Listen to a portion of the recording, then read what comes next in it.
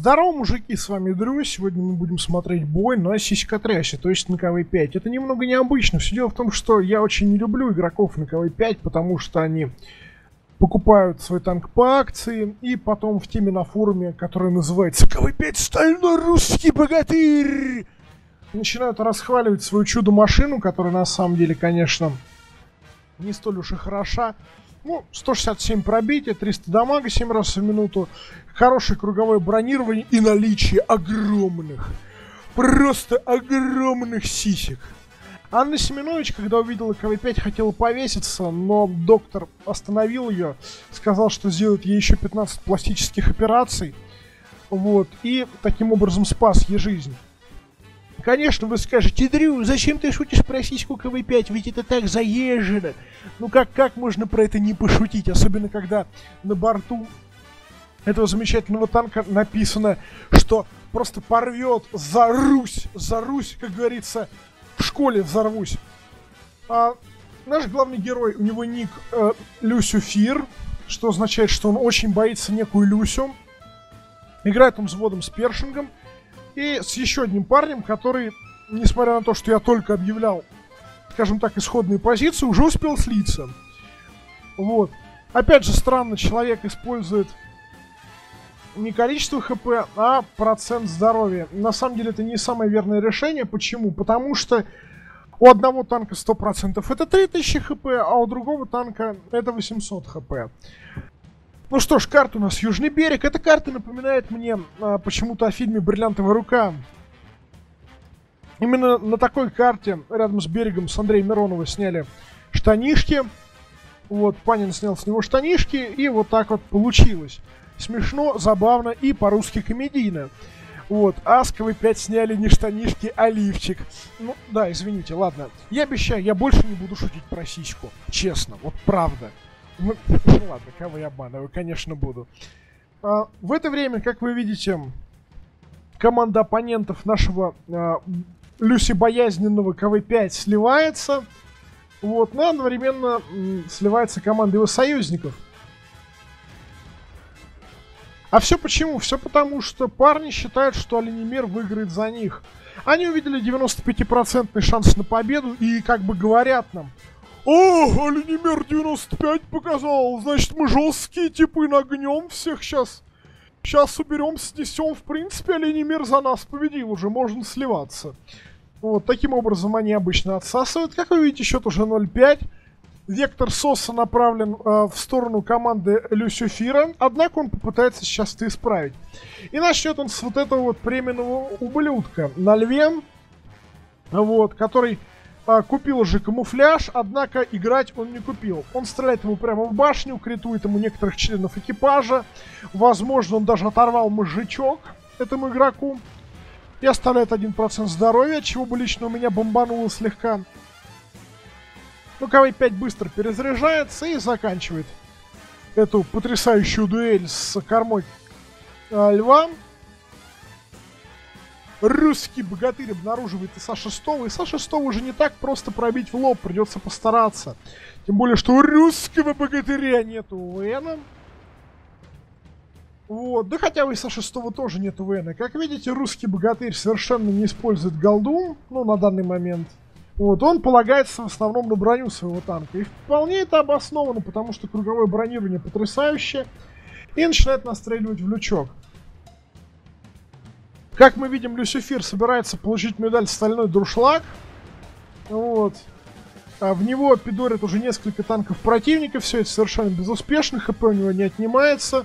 При этом С6 совершенно не пытается закрутить русского богатыря. Вот. И даже не пытается стрелять ему э, в так называемую эрогенную зону. Вот. Просто пытается пробить его в корпус.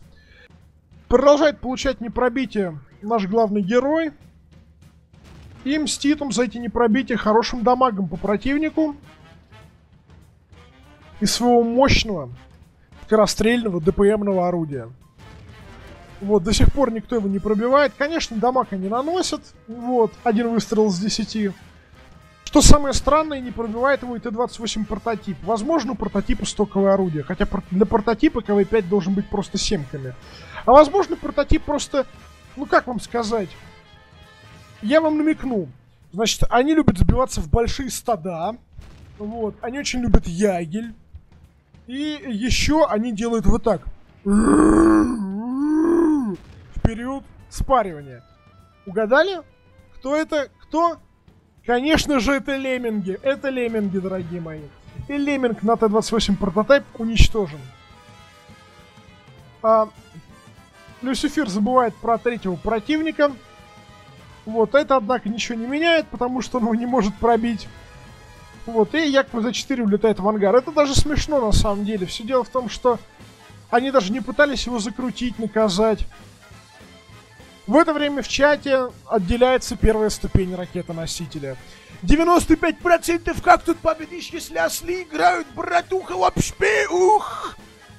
После этой э, фразы Дахмир 95 пошел э, нагибать козу. А вот тут будет дуэль двух бронесартаканов. КВ-5 против Супер Персика. Давайте на это посмотрим. Это должно быть впечатляющим. Супер Персик с ником Фена 1980. Ну, просто парень хочет выглядеть взрослее, вы же понимаете.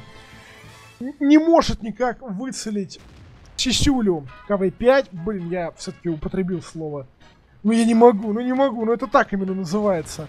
И все-таки выцеливает это место. И, э, что странно, заметьте, у КВ-5 до сих пор живой радист. А, обычно радист на КВ-5 страдает настолько, что а, примерно через 100 боев прям видно, насколько он отстает по опыту от других членов экипажа.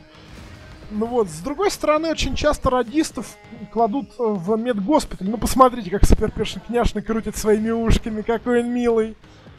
Так вот, их часто кладут в медгоспиталь, а в госпитале они могут трахать красивых медсестер. Поэтому, несмотря на отсутствие боевого опыта, у них появляется очень широкий опыт сексуальный.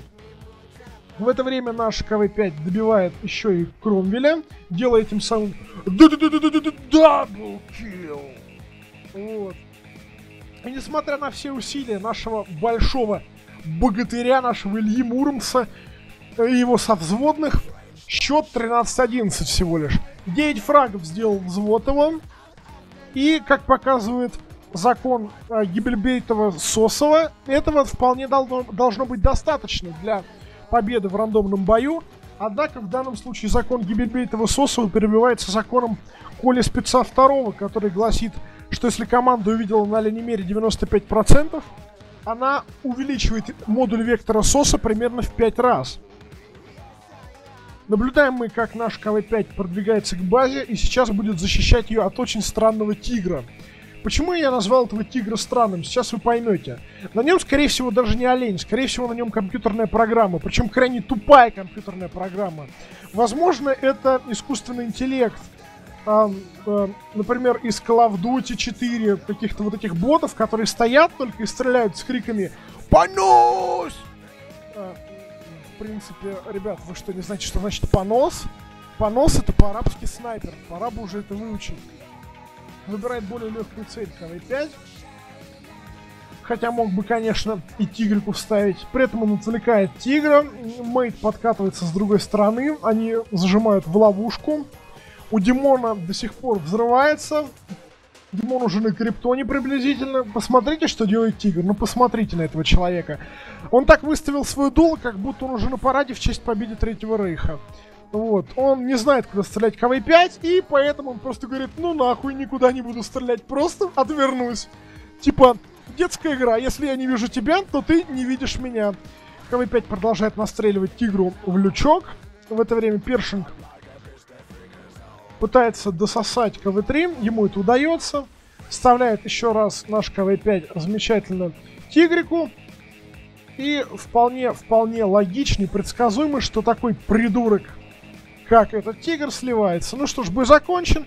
Что мы видели? Мы видели медаль Старный Друшлаг, медаль а, подсос, извините, воин и замечательные 7000 дамага, а также мастер на КВ-5. Всем спасибо, с вами был Друид и Хардлеон, присылайте свои реплеи. Все, подробности о том, как это делать в описании. Спасибо, до новых встреч.